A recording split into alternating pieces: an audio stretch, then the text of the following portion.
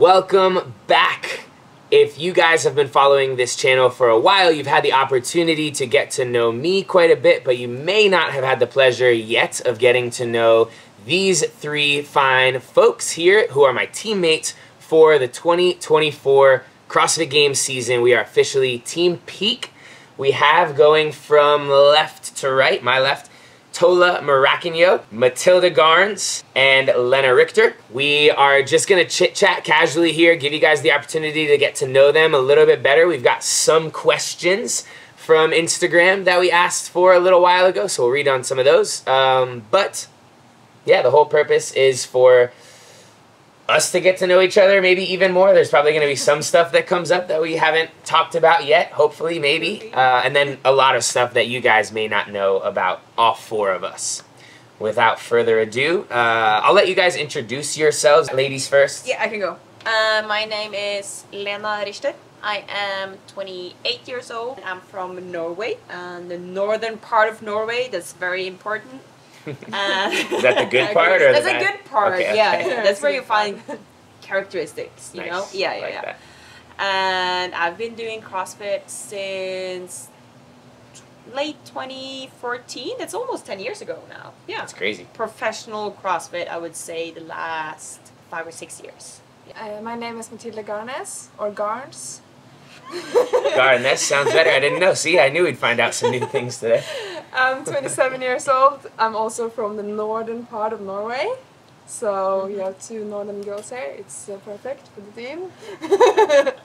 and uh, I've been doing CrossFit for around like six to eight years, from 2016, I think. Professional from 2018-19. My name is Tola Morakinyo. I am not from Norway. I'm from uh, Columbia, Maryland, uh, DMV area. I've been doing CrossFit for, oh boy, uh, wow, over a decade now. Um, I think I did my fundamentals in 2013. There you go. Um, Have any of you guys gotten a L1, like CrossFit Level 1 certified coaching thing? Yeah, I- I have. yes. Yeah? Yeah? Yeah.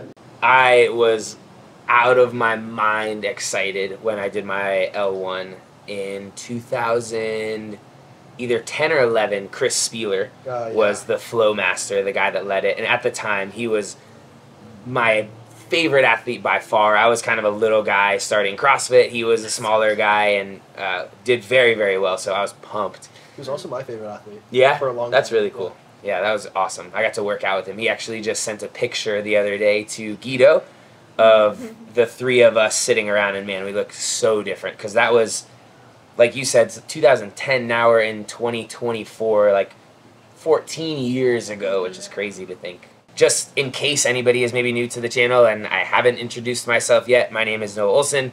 I am 32 years old. I've been doing CrossFit since 2010 all right here in Miami at Peak 360 since the very beginning. I was a sophomore in college and qualified for the games for the first time in 2014 and have been doing it professionally ever since. Uh, question that I have for you guys that kind of falls in line with a lot of that, like sporting background. What sports did you play growing up that led you to eventually being pretty successful at CrossFit? I did gymnastics. I wasn't on like a national level or anything, um, but it did give me some like body awareness. I think that I use I use a lot now. Like doing new skills fell pretty naturally for me. Yeah. when you started Like. CrossFit, were you able to pick up on like butterfly pull-ups, muscle up, toe bar, like that stuff a little quicker than an average person that starts because of that? Yeah, I would say so. Yeah. But I was always underestimating underestimating myself. So I'd be like, no, no, no, I'm not gonna do that. You know, butterfly, no, no, no, no. And Yeah. I did it like straight and perfect. So you were like a professional handballer, is that right? Yeah, but I was not like full-time professional. That was my biggest dream to become like a professional handball player, reach the national team. That's Uh, hard in Norway. it's It's, a Norway. very Yeah. big sport in Well, Norway, handball. It's yeah. funny, that's like a fun fact when you told us that for people in the States because handball is not very it's not not popular here. It's I don't know much about it. Yeah. Um, so when you It's said so that I was very Norway. curious. Like- yeah. yeah, and, and Europe as well. Like, it's cool. Yeah. Uh, but I did play like a lot of different sport growing up. I think that's why CrossFit suits me well. I've been like when I was young, I was very good at like everything, but I was not the best in everything, in like and now anything. So I just did a lot of different things, and I actually I tried gymnastics, uh, but after like half a year. Uh, I tried backflip for the first time. I got a fracture in my toe, Oh, and no. then I was a pussy and quit. I really, I really wish I was like I did continue Yeah. because Would've I, been I helpful think it would have been better Yeah. for Darn backflips. I'll get you. I grew up also playing a little bit of everything. I played uh, soccer and a little bit of flag football. My the main sport that I played growing up was lacrosse. I don't know how familiar you guys are with that. It's like with the sticks and the ball. Yep. Oh, nice. I played that for about 10 years, wanted to do that professionally, but the high school that I went to didn't have a team. So I had to switch sports. Did a year of wrestling, got my butt kicked, like literally just got beat up all year and was like, I don't want to do this anymore. Um, wrestled, fun fact, in the 112 pound weight class my freshman year. So I was like. Just barely triple digits. And then I got into swimming and water polo, and that's what I did until I found CrossFit. Uh, I also wrestled. My freshman year, I was a 125 pounder. Attaboy. So just a little bigger. That's hard to imagine. I know. What do you weigh now? like 215. Okay. I bumped, Oh, wow. Only 100 pounds more. yeah, I bumped a weight class like every year Yeah. for like six years in a row. Nice. Um, my first big sport was gymnastics. I did that for five years. Pretty good at gymnastics. Um, but I stopped before I hit my growth spurt. So then I started growing and started playing football. And I ran some track, did some pole vaulting, and wrestled for seven, eight years. Um, and I wrestled for a little bit in college as well. For kind of as I transitioned into CrossFit slash something that wasn't getting my head smashed in Yeah. all the time. You would have beat me up for sure. so that's how Um, we'll find out. yeah, oh, So I don't want to. Gymnastics. You know, I similarly, when you said that, I was like, oh yeah, I did gymnastics for like two weeks back in the day. Yeah. I remember climbing the rope for the first time ever, like all the way to the ceiling as a kid, and then for some reason didn't do it for very long. Yeah. I wish that I had as Yeah, well. Ironically, I in high school was a camp counselor for summer camps at a gymnastics place, and so I was teaching little kids like basic gymnastics things, but I didn't really have a background in gymnastics. Yeah. A little bit of background on how this team came together, and we can kind of all jump in here. I have been wanting to go team for quite some time, was trying to figure out what I was gonna do, but was focused on competing individually for my 10th and final season, probably about six months ago. Lena had reached out to me on Instagram and said, Hey, I heard you were maybe putting together a team. Let's talk about it. And I said, Definitely, let's. But let's wait until after the games. And we did. Lena and I connected there and decided to do the Madrid CrossFit Championship competition together with Chandler Smith, Sydney Michalyshen. But that was just kind of like a, a trial run for us, but for everybody, just more of like a fun thing. Um, after that, you and I started talking a little bit more seriously about like, okay, if we do this next season, are you willing to move from Norway to the United States? That's a huge mm-hmm. deal. That's a big move to make. Lena has competed on three teams, or sorry, three times at the games on a team, and all three years they've taken the podium, second, second, and third place. And so she was like, Yes, I'm sick of being on the podium but not sitting on the top. I really want to win. If you're serious about that, I'll do it. And so I was like, all right, well, we need to find one other guy and one other girl. And she said, it just so happens that Tola is out here visiting Norway, talking about maybe moving here to do team. I'll see if he wants to potentially join us in Miami or, or I don't know. We'll see what happens. Uh, and I guess Tola had been trying to recruit Matilda a little bit. You guys were maybe going to do a separate team. And Len and I were talking about doing a team. So anyway, more or less, there were Lena and uh, Noah over here, Tola and Matilda over here, both thinking about doing teams. We came together. They were gracious enough to make the move to Miami, which was huge for me. I'm very grateful for that. I don't uh, take for granted the sacrifice that you guys have made to be here. and we've been training together, all four of us, for the last month already here at Peak. I think it's been awesome. How have you guys found moving to Miami from Norway, from Maryland, getting settled in, training at Peak, all that? Any thoughts on that? Go that to come that. up? Me go? Yes. Um, I'm really enjoying Miami. I'm enjoying it significantly more than I thought I would, to be honest. I was a bit concerned about it. Can I ask? Because we had a talk in Norway. Is and it- He was like too hot. No, he was really set on like I want to go a dark place where it's mm. just cold and I can train. And I was like, dude, I I want to go like to a warm place. Can we do a team in Miami? Do you think a part of it, and I, I was wondering about this, I think a lot of people, especially CrossFit people, their only exposure to Miami is Wodapalooza True. weekend. And when you go to Wodapalooza, it's Bayfront Park, which is like Right. downtown Miami. There's lights, city, craziness. Like you're going out and celebrating after at clubs and restaurants. Like it's a very different vibe from what our day to day looks like here in South Miami. Do you think you had that in your mind of that's Miami and I don't want that? Not necessarily Okay. because I didn't really see myself getting sucked into that too hard. Um, it was more just I wasn't sure if I was gonna like it. I didn't. I don't think I realized how large Miami is. Mhm. Um, so there's like so many different areas, um, like any big city. But you'll kind of find somewhere that fits your niche more so than others. But yeah, I was I was looking forward to potentially moving to Norway. Like I like, I like it.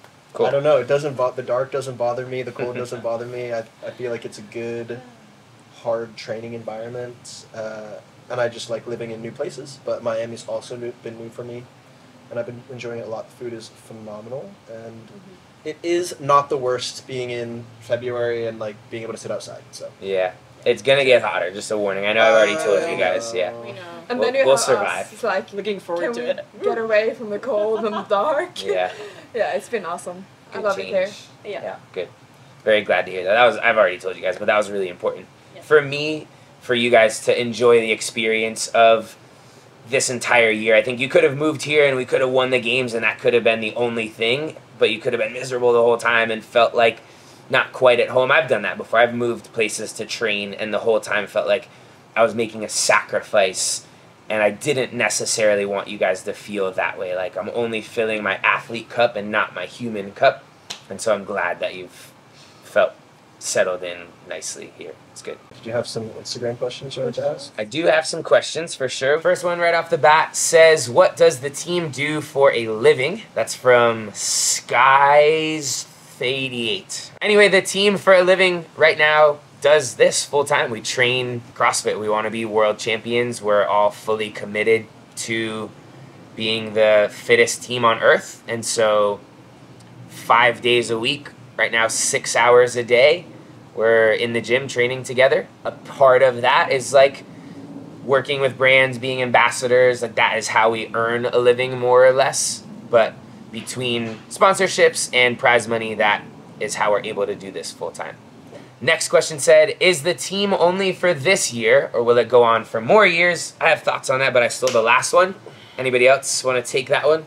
Uh, I believe the plan is for 360 to continue to field teams at the games for years to come. I believe, as many teams do, the members may come and go, slash, you may see some new faces in following years. We have not decided 100% what our plan for next year is. Um, I think we're focused on this year, and I think a few of us won't really make a decision until the end of the year. So stay tuned, basically, is the answer. Um, somebody wants to know who are the alternates for the team? How did we decide on them?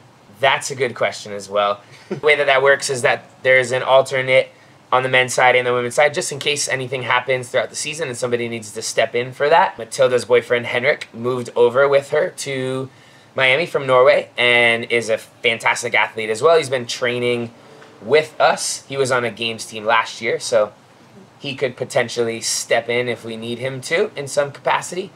And uh, we need to find uh, a lady. But anyway, the two people right here have asked who is the team captain. I feel like yeah, it's it's an interesting question. This sport is not as structured, I think, as some other sports where people are dictated as the captains that have certain roles. It's kind of up to us to figure out those roles and what they look like.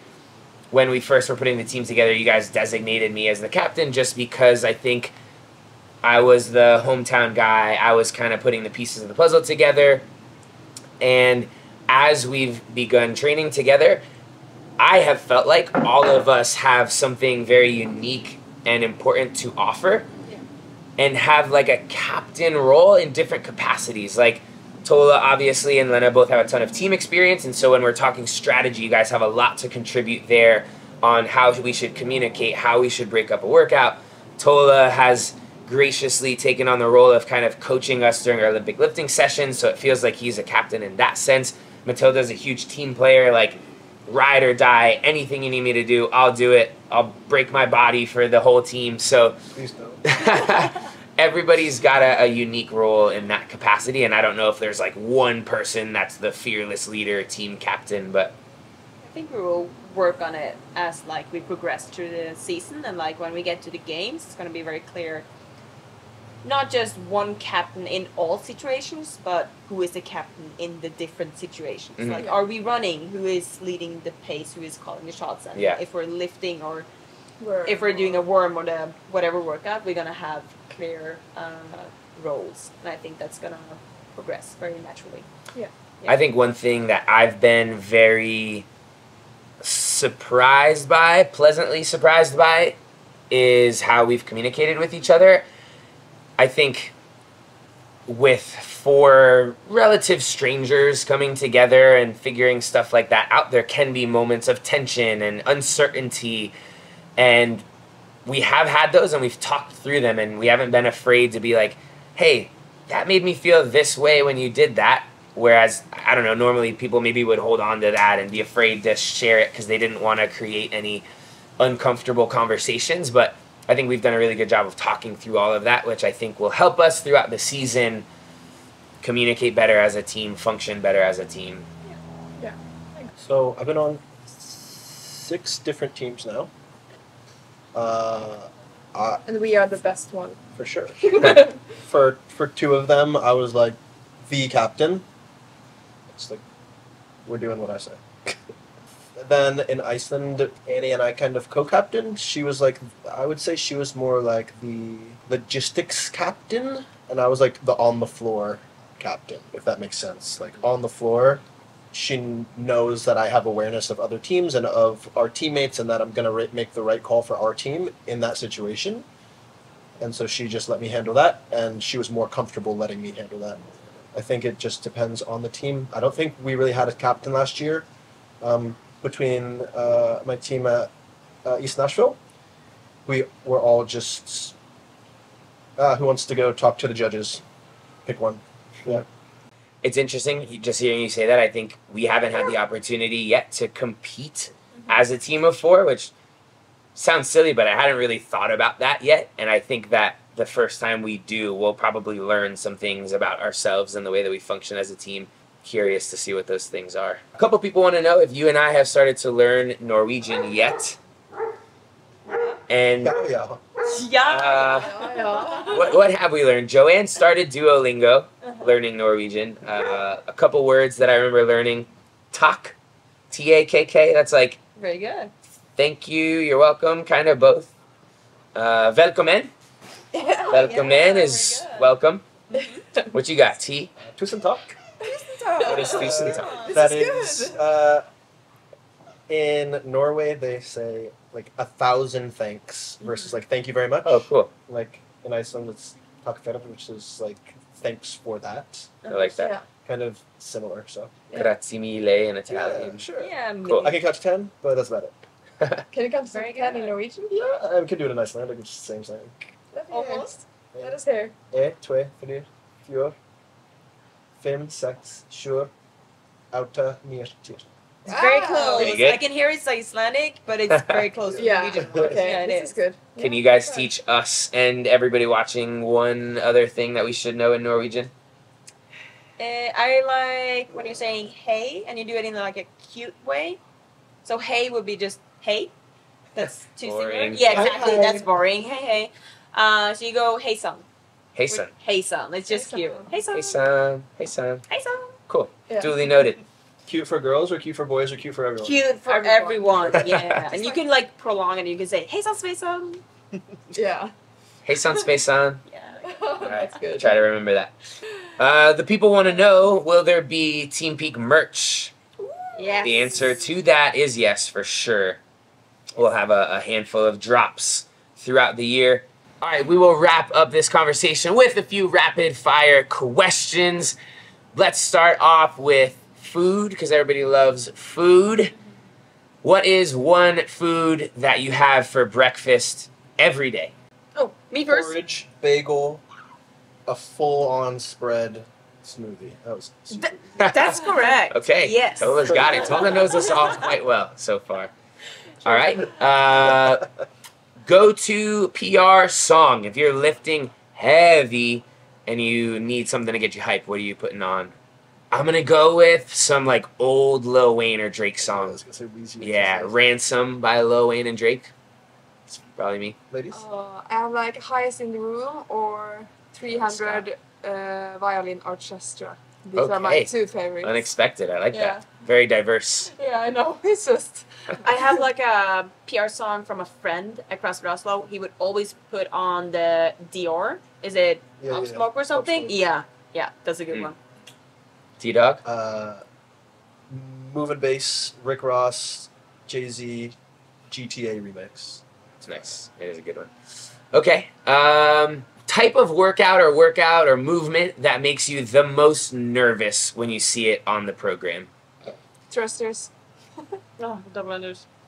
Echo bike sprints. Nothing. Running long. Okay, that makes sense. I feel like for all of us. What did you say? Echo? Echo I bike feel like all the things Ugh. we said, we would have as a favorite if we just Yeah. mix it up. Yeah. Like thrusters, Yeah, yeah, yeah. Zero now thrusters. I love echo sprints. echo sprints, running double under running, sure. and you take Yeah, double unders, yeah. and then we're done. Yeah. That's good. We balance each other out. It's great. Okay, best movement. Like, what's your best Mm. movement? Best to do movement? that? Yeah, thrusters. Ring muscle up, maybe. Yeah, um, some sort of gymnastics, muscle up, handstand walk, handstand push up. Power snatch. Dude, yeah, it's Dude. power snatches. We, what did we do? We did a snatch ladder, and I was squat snatching 225, and Tola was muscle snatching 245, and I was like, man, built different. Just that's crazy. They were definitely powered, but Do you have a most painful workout that you've ever done? Like Ugh, games, God. training, any of the above. Anything. At a competition, in Yeah. training, anywhere. One that comes to mind immediately for me, even if it's not the one, is Atalanta at the games in mm. 2020. because it was at the end of a brutal week of competing. It was the last workout, and it was just crazy volume. That was ridiculous and hard. There was a workout for teams in 2017 where all of the guys across the board were seeing like multiple different gods after the workout, and all the girls were like, "That was fun." it was uh, Huh. rounds of 40 slash 30 cal row and worm squats, like 30 or 40 worm squats, like Huh. three or four rounds. It was miserable. I wonder why that would have been so much worse for the guys I, I th- it was taking it was the brunt of the back when it was a six person worm. Oh. So a little different on the like the bags were different weights. yeah, Mhm. So maybe it de- depended where you are, but Yeah. all of our guys were like rock. waddling, but, like couldn't see straight, and the girls were like, "Yeah!" And I was like, Nice. that wasn't very fun for us. yeah. Oh, I felt that earthworm last year. Oh yeah, That for was- the girls. it was the same thing for the girls. Yes, yes, yes. That was horrible. What was that workout? Um, I kept. It was like a handstand walk into it, and then it was just like a lot of thrusters. Was it Hand- fifty thrusters? No, Handstand 40. walk buy in, and then you would do thrusters, and you had to advance it by lunging. Yeah, right? true. Yeah, Yeah. yeah. And What the- was Lunging. something was different about the worm the itself. worm was not connected. It was connected by ropes, so you had to handle your own individual section by yourself. Ooh, was and basically they like were a sandbag. each. Slightly heavier. Yeah, it was heavy too. um, generally, I would say that the ladies beat the guys on the worm as far as like capacity. And this was one where, for some reason, just not having it connected, uh, it was really tough on the girls. And so it was interesting because it was across the board on all of the teams. I think. Yeah. And you could see that none of the guys were used to that. We were like, "What's Yeah. what's going on?" I- Your I girls don't know, did a like, switch, what's going on? right? Well, I switched them. Yes. You were like, you're switch up. Yeah. I think I grabbed one kind of. It's like you stay there, Yeah. but yeah. Yeah. For me, fun. it's it was the capital. Oh, that one was gnarly. Uh, yeah, I, I got a, The like a stairs. Oh, Yeah. I remember I got a back fracture actually on the pig, and it started Yikes. with appendix. And you had to. That was the one workout during the games that year that you had to finish for Oh yeah, to were continue time the rest of the weekend. There was no time cap, so I just kind of walked through. it. grinded And through then it. the Yeah. steps in the end, it was like one RM step up for every Yeah, step that of was- that bag. Very hard. I forgot about that one. Yeah, I remember my coach was like, use your long arms to grab around the bag, and I had some pictures of me like holding with my fingertips down here. yeah, it was, uh, but it was fun. Like you pushed so hard, so it was fun when you got were done. But it was, uh, yeah, Yeah. the hardest I've done. Max, stop that. Sorry. We're back. Uh, favorite movie? Ooh, I love Love Actually. That's cute. Love that. It's it's a Oh, Christmas yeah. movie, and I know it's British, and a lot of you Americans haven't seen it. So if you're American and you're watching this now, please And watch holiday Love Actually. for Yeah. Christmas. okay, so you guys are rom com Christmas. gals. Uh, Rom com Christmas gals. Yeah. Yes. See? The Dark Knight. The Dark Knight. Man, that is a good one. Uh, I'll go Warrior. Is a really good one. Interesting pick. Yeah. Tom Hardy. And Tom to, Hardy. to, yeah. To I go get it. along with Tom that, follow up question favorite actor or actress or both? I'll go Tom Hardy, Guy, uh, Gal, probably Emily Blunt, Scarlett Johansson. Scarlett Johansson. Johansson. Yeah. Scarlett Joe, she cute. Paul Walker was my favorite. Okay. In Fast and Furious, R.I.P. and then Cameron Diaz in the holiday. Nice. I think Benedict Cumberbatch is Mm. great. Good actor. Everything he plays in is amazing. He's Doctor Strange, right? Yes. Yeah, yeah but also Smaug. Sherlock Holmes. That's so the. Destroyer. All right, Yeah. thank you Yeah. guys Yeah. so much for watching. Hopefully, you enjoyed getting to know Team Peak. Lena Matilda Tola, thank you. Alex, thank you. We'll see you next time. Good boy. Hi, Bubba.